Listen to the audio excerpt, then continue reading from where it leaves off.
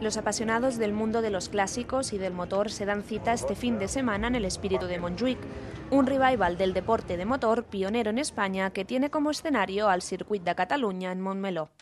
En un ambiente festivo y familiar, los asistentes han podido revivir la época dorada de la competición de motor en un evento que pretende rendir homenaje a las carreras que se celebraban en el antiguo circuito de Montjuic.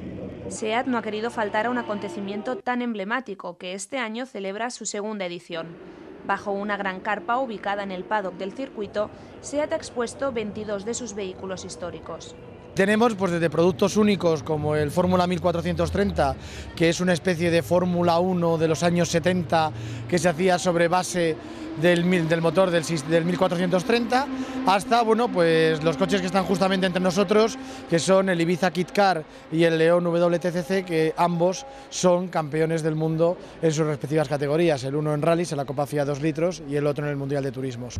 En cuanto a los vehículos de competición, no han faltado a la cita modelos que marcaron un antes y un después en el mundo del motor. El público ha podido presenciar los campeones mundiales que ocupan un lugar destacado en la muestra.